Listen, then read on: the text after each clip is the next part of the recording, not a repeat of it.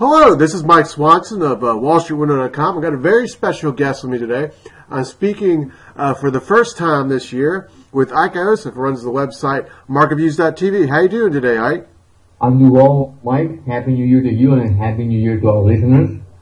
And uh, thank you for having me as a guest once again. Oh, definitely. Well, this is, you know, to me, probably the most important time of year to you know, look at the markets and try to plan ahead for the rest of the year. What's the tone going to be like this year? Uh, what you know, what where are we going to make money, and what do we got to watch out for? So I'm very happy to uh, talk with you about the charts that uh, you sent me. Well, Mike, I think we need to have a roadmap at the beginning of the year, so to have an idea of where things may go and um, this way we can adjust our strategy or our tactics uh, accordingly. So one of the things that I do early each year is to take a look at some real long-term charts. And for me, the point of reference is the 1980-1982 period. That is where I start because the most of us have lived throughout that year, that period. We remember what has been like the last 30, 40 years. But also that was the beginning of the last great secular trend. The bull market in equities, the bear market in interest rates. So that's why I use that period as my starting point, my reference point and the first chart we are going to take a look at is the yield on the 10-year treasury. Now we can see that from 1982 until now it's been a clear downtrend. Along the way, we have had some typical classical bear market rallies. Uh, these are the ones that I have circled with and we're in a, something of a rally now.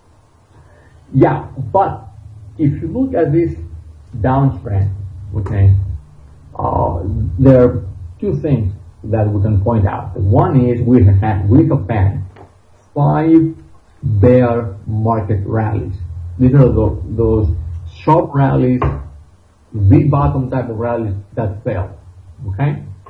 And we have had two rallies uh, one that have failed, that is the one in A.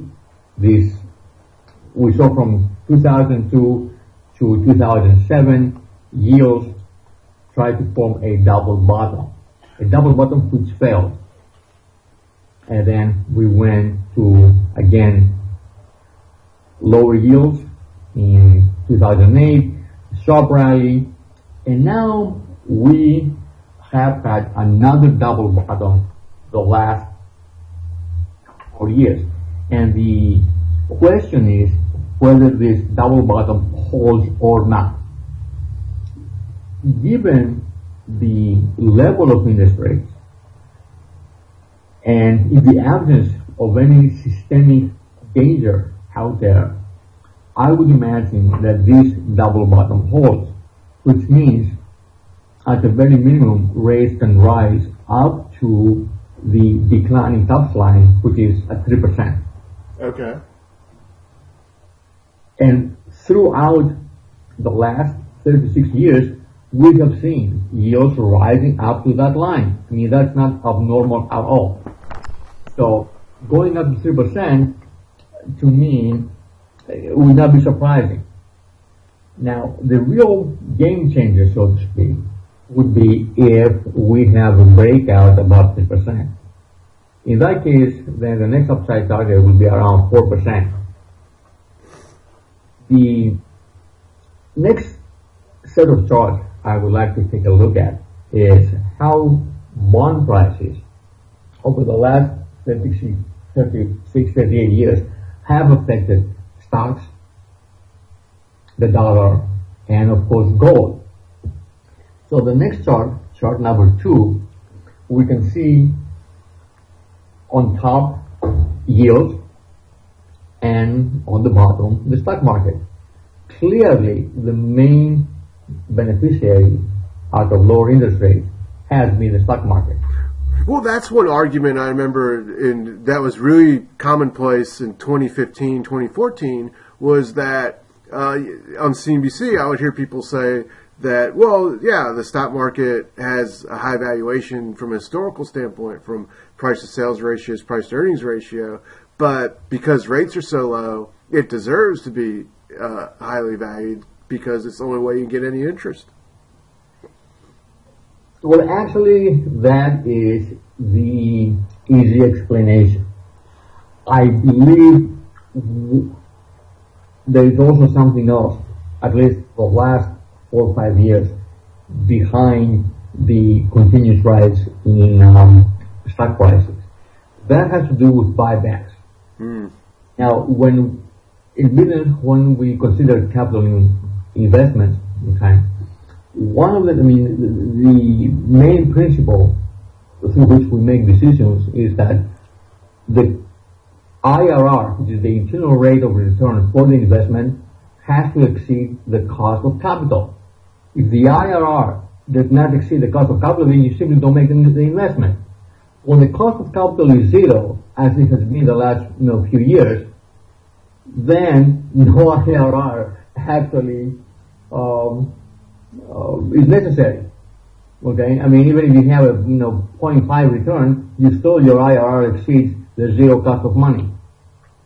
What it means is it has become very easy for corporations to borrow, is you know for the purpose of financing stock buybacks, and that has been one of the main reasons behind the rise the last three four years. Nevertheless, um, of course, when you look, you know, at, at stocks, um, as an asset gives you a, a, cash flow stream, actually the net present value increases when interest rates go down. So from a valuation point, yes, lower interest rates to a degree can justify higher stock prices, but that is to a degree, not to infinity. So, anyway, um, let's take a look at the next chart. Okay. That's uh, chart number three. And I just want to make again the, the point that I made earlier that if you look at the stock market from 86 until 2007, we can see that each time interest rates had a sharp rise after the declining top line, then either we had a sharp stock market decline or a sideways action. In 87 we had the crash. In 93, 94, um, 93 and 90, uh, beginning of 95, we had a flat market, a sideways market. Okay. Then the rise going up to 2000 was followed by the bear market and I'm not saying that the rising interest rate was the reason for the bear market, was a contributing factor. And then again, once from 2003, interest rates got up to the declining top line, what happened? We had the bear market of uh, 2008, 2009. Again, higher rates were not the reason, was a contributing factor. My point is that what we have seen the last 36 years is that each time the interest rates get up to the declining top line, that has coincided with stock market tops. Well, that would mean if that bear, if the bull market or bear market and, and the yields uh, that began in the early 80s were to turn into a bull market going through uh, 5%, 4%, that would be bad for stocks. Of course, it would take time for that to happen, but it also has to do with where you're starting from. Okay. Mm. Initially, I think higher yields would not bother the market that much. Okay. The explanation for it would be, well, this is good. This is good because it means yields are going up because we're getting high economic growth. Okay. okay. That would be the initial reaction. Uh, the reaction will change once we pass the threshold of 4%. So I think between 3 and 4, you may get a reaction, but I don't think that will also mean the end of the bull market. I think above 4% will definitely be uh, a real problem. Between 3 and 4, I'm not all that sure. And as I said, once we get up to 3%, we'll probably get a, a reversal in the, in the market.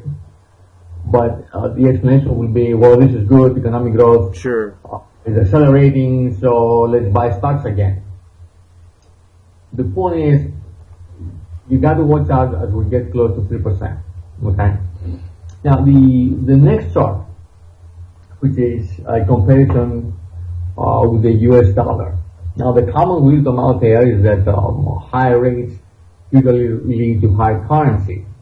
Well, that's not necessarily, you know, the truth, okay? Because we can see here that rates, you know, were going down from 82 to 86. Of course, the dollar had a big plunge, was down 50%.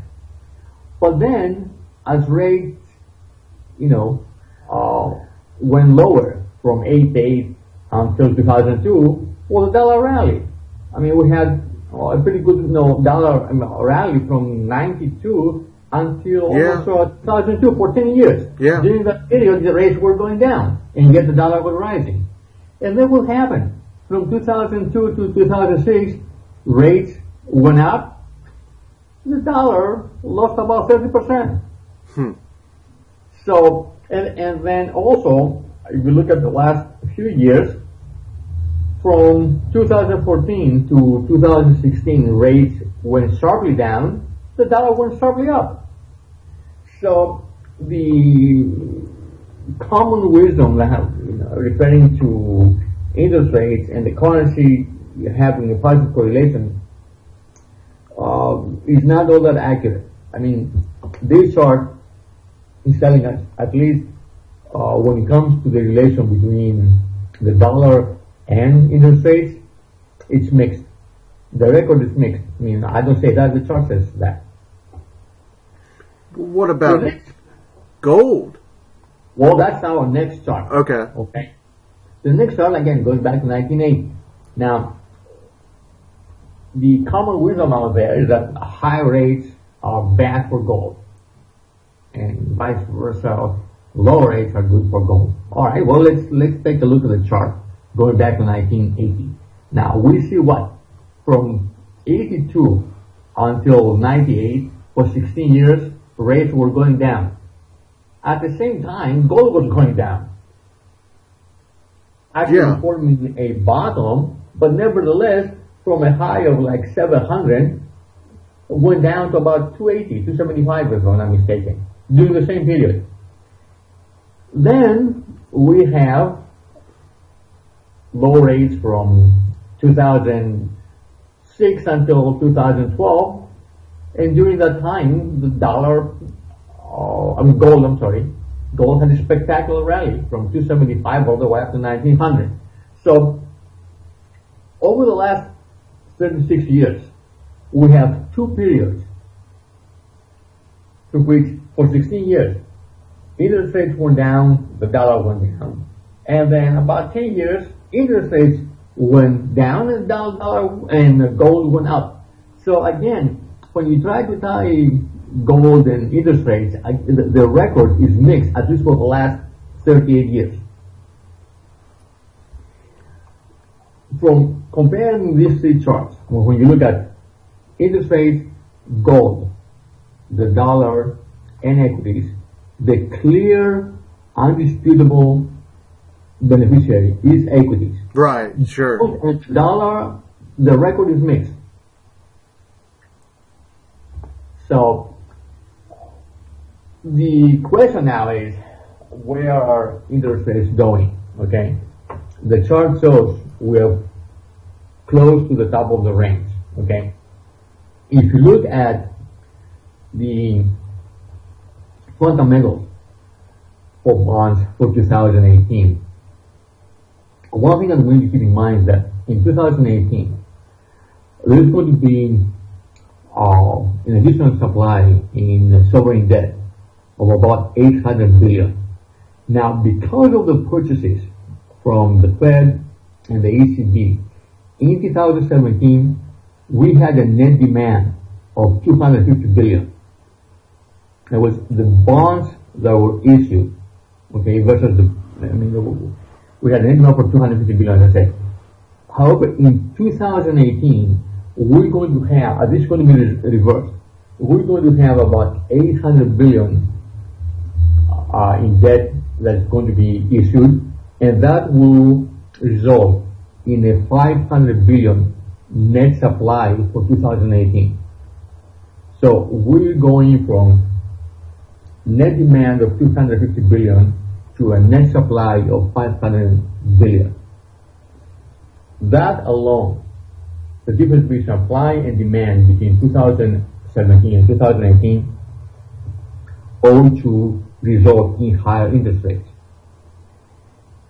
Then another thing is that my good friend Jim Roth uh, from Macrotype did an excellent research paper regarding the spread between the U6 and the U3 unemployment rate.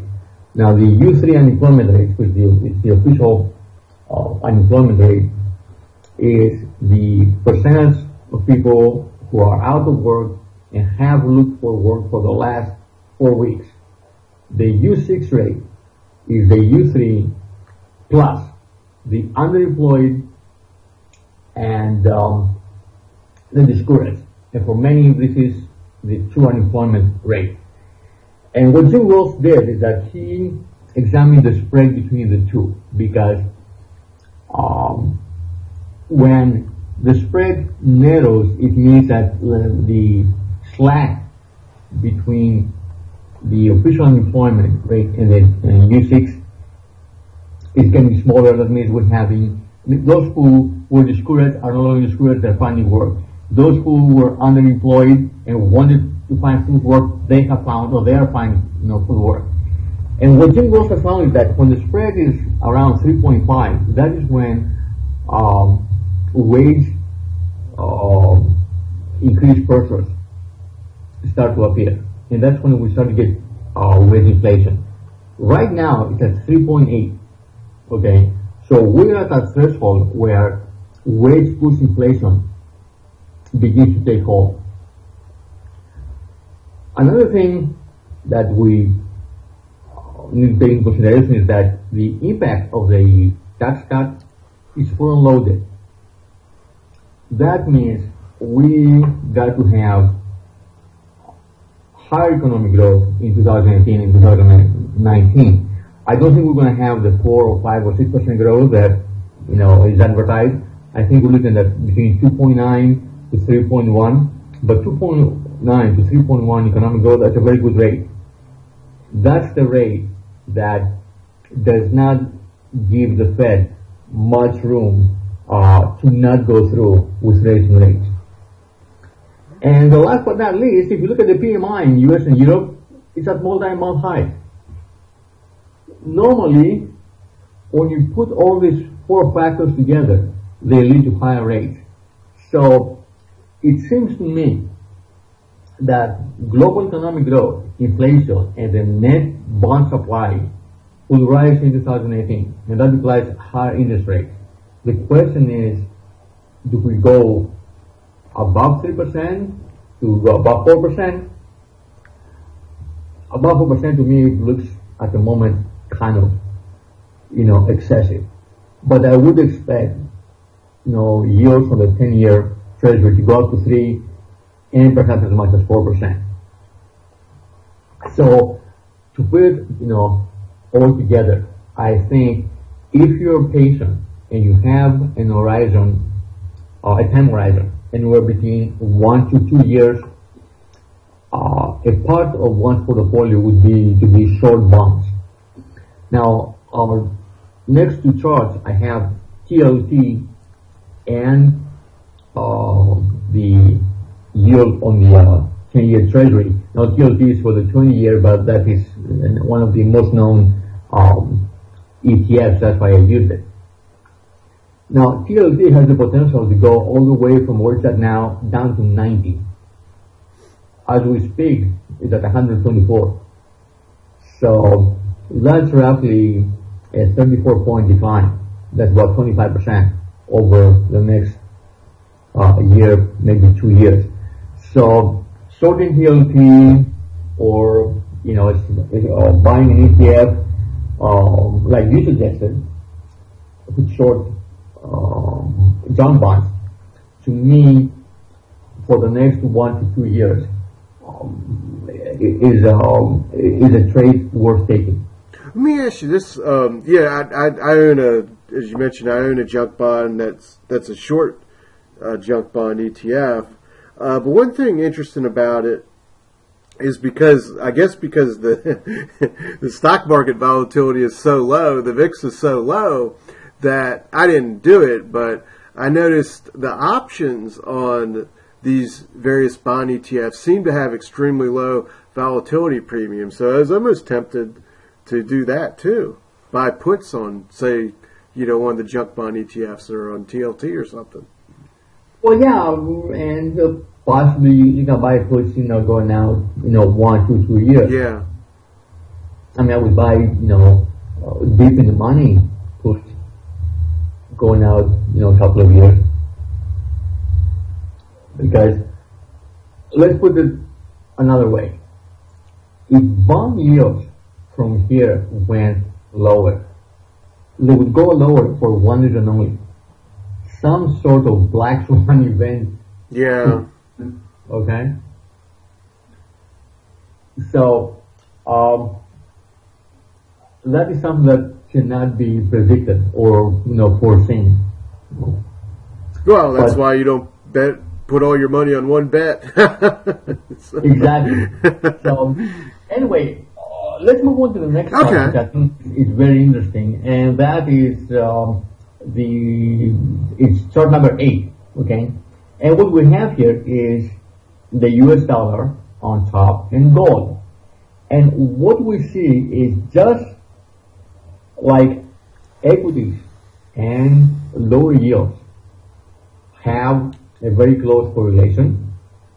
We also see a very close correlation between the dollar and gold.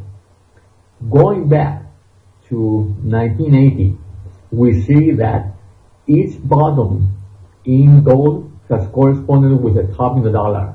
There was only a very short period, the one um, that I have highlighted, between uh, early 1992 and um, I believe uh, late 1994, where the dollar went up and gold went up a little bit before it had its final mm.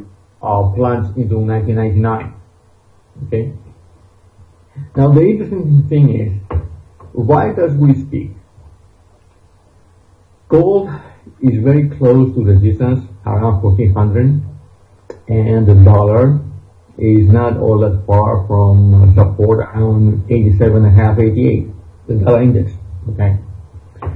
So it seems to me that we have right here 36 years, 38 years of uh, negative correlation between these two assets, with the exception of, of, of a very short one and a half year period back in 1992 it would seem to me that something here you know, will break. Either we get a breakdown in the dollar and a breakout in gold, or we get a reverse in the dollar and then a reverse in gold.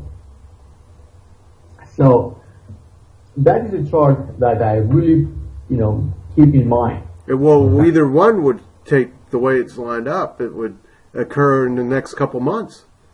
Well, yeah, and the next two charts, chart, chart 9 and chart 10 uh, show the uh, potential outcomes. On the left, I have the dollar. Okay. Now, one could argue that the dollar is putting a very large double bottom. Okay. The, uh, the first, uh, the left bottom was from 86 to, to 96. the second bottom from uh, 2004 until 2014. You can't argue with that. I mean, there is there is a possibility. Okay, you can uh, list many fundamental reasons why this should not be the case, but forget what the title says. Forget that is the U.S. dollar. Just look at the chart. If you did Okay. not know, if you did not know this was the dollar, if you just somebody showed you this chart, wouldn't you consider the possibility of Sure, a double sure. bottom? Well, that's my point. Okay, so right here, either you know we're having a long-term bottle, double bottom that can lead to a very sharp rally in the dollar, or if we get a breakdown here, that means we will have a triple top. The first one in 84, second one in um, 2002, and the third one in 2016. Okay?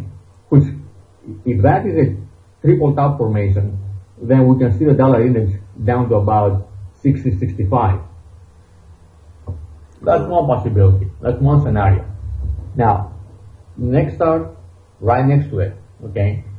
I'm showing the same thing with gold. Here we also have two probable scenarios. If gold above the rising trend line,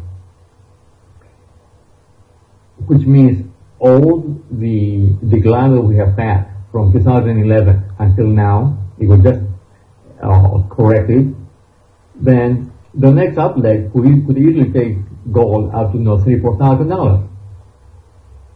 On the other hand, uh, if instead of a base formation, what we're looking is a double top, which fails around 1400, uh, then um, you could easily see gold down to 700. So you look at these two charts, and what is important to me outside, you know, one's convictions, because the easiest way to lose money is to have very strong convictions, you know, and not change your mind when the chart is telling you something else, is that both the dollar and gold are arguing that we're going to have significant moves in these two. Mm, hmm And people ought to be prepared is uh, watch out which way the break comes and then position themselves because whichever uh, the direction of the move is going to be a great move. Right, and it'll be starting this year or Yeah, in months. It, happening, it should be happening in the next you know, few months. Yeah. the next you know, two great trades that are lining up for 2018 is the positions in gold and dollar. Now, right where it's at, uh, so we are very you know, close. I would imagine that whatever this will happen, you know, will happen over the next, you know, few- months. At least that's what the chart shows. Okay. And um, the next chart, which is uh, chart number 11, and that is something also I want people to pay attention to. Okay, this is a monthly chart of the U.S. dollar. Okay, and the formation that we have, the pattern that we have, is the one of the megaphone. Now, usually, and the emphasis, Mike, is on the word usually because usually does not mean always, is that when you get to the bottom of the megaphone, after an ABCD type of move, you get a failed rally that takes you up to about um, half of the range, the middle of the range, I'm sorry. Okay?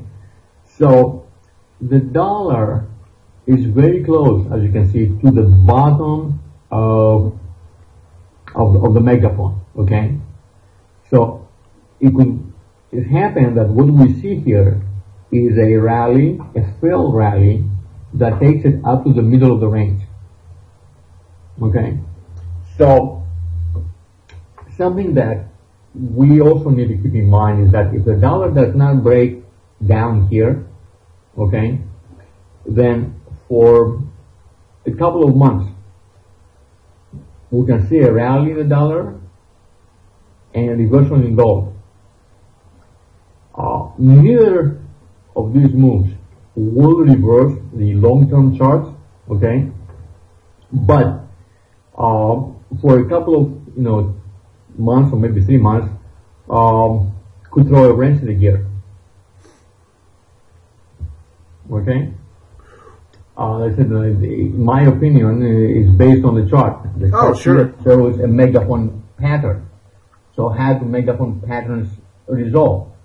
Like you know, usually, not always. At the end, you get a failed rally.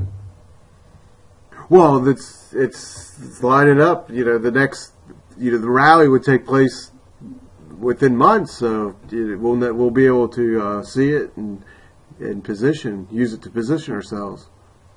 Exactly, exactly. So, anyway, What what do you think as we wrap up? Uh, do you have a thing about the, the U.S. equities uh, uh, in the in the in the targets? You yeah, Mike, last year, past. okay, we did four interviews, and I have the dates of the interviews. okay? uh, where the S&P was at when we did the interview, and based on the regression analysis that we use, what the possible target could be. Now, what I want to uh, say about this is, of course, obviously, obviously, I cannot um, tell you, and this is a proprietary, you know, indicator, so I cannot tell you the what goes into the um, uh, regression equation that, that we're using, but I can tell you this, it has to do with the rate of change in the internals, like new highs, new lows, cumulative volume, um, Okay. Line. And usually when the internals are improving, that will give us higher targets. When they're deteriorating, that will give us lower targets, uh, either lower upside targets or lower uh, low targets, okay, downside targets, all right. What I want to point out is this, like in, in, a, uh, October 14th, for the- in 2016, okay, the S&P was 2164, and we had a target of 2250 2350. That target was eight and a half percent higher from where we were when we did the interview, okay? When we did our next interview in April, the S&P was at 2355. Uh, the upside target we were getting at the time was 2470. That was 4.8% higher. Okay, if you if you compare these two, what has happened between October of 2016 and April of 2017 is that the upside target, the the next upside target, had been lowered by about 4%. Why? Because we had deterioration in the internal. Then we go to May. The S&P was at 2000, uh, 2416 on May 26th. And I gave you a target for 2550, 2575, which was 6.5% higher. We met that one. And then when we did our last interview um, in October, actually we did two, one October, one in November. The S&P was at 2575, and at the time I said by the end of the year we had a target of 2650, 2675. The S&P closed at 2673 uh, on um, December 29. Okay. Now that upside target, you know, was the lowest uh, of the year. You can see we started with an eight and a half percent projection. The next one was 4.8 percent, six and a half down to 3.7. Was your next target now even lower, or Well- or is it improving now? Well, that is where I'm getting at. That's Okay. my next point. Okay. So now when we run our our possible upside projection for this year, one thing that I want to uh, clarify is this: for a target to become valid, okay, uh, it means uh, that the previous one it has to have been exceeded and has it has to have held as a support. Okay, if the previous target has exceeded and then it has not held as support, I mean what was resistance, then it not hold as support. Okay, then that means it's no longer valid. Okay. Well, So I'm going to give you, you know, some targets Okay. for this year, okay? Assuming interest rates do not exceed three percent. Now, this is very important, okay? Okay. Because one of the assumptions in uh, the equation that we use is that interest rates uh, hold steady, all right?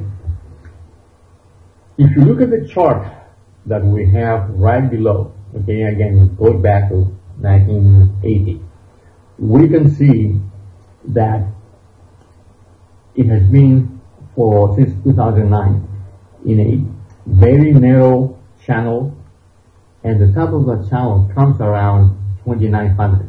Okay, that's simply looking at the chart. All right, in using our proprietary uh, formula, then the target that we have is 2805, 2815. If that target was to be exceeded and hold that support, then the next one would be 2875, 2905. If that target is exceeded and then it holds a support, then the next one would be 2985, 3005. I want you to understand that this is not a forecast. I'm not saying that by the end of the year, the S&P is going to 3005. What I'm saying is we have a roadmap. If the S&P exceeds one of these targets, then we'll go to the next one. If it fails at any of these targets, then what we do, we go back and re-estimate what we have, uh, what's going to happen, you know, going forward, because it means something has changed. Okay, so this is not the forecast. These are this is a roadmap. If these targets are met, we go to the next one. If one of them is not met, the market fails, then uh, at that point we'll rerun our analysis and uh, we'll say what the targets are. Could be a little higher, it could be lower, much lower. We know that when we get there. Okay? Well, uh, on um, January the first, uh, 2017, Bitcoin was around a thousand, and it hit twenty thousand in December. So it went up nineteen, it went from one thousand to twenty thousand, and this S and P is at around twenty eight hundred, let's say. And why should anyone buy the S and P at twenty eight hundred when Bitcoin can go from one thousand to twenty thousand? so much more, and it can make the gains the S and P can take a year to make in an hour.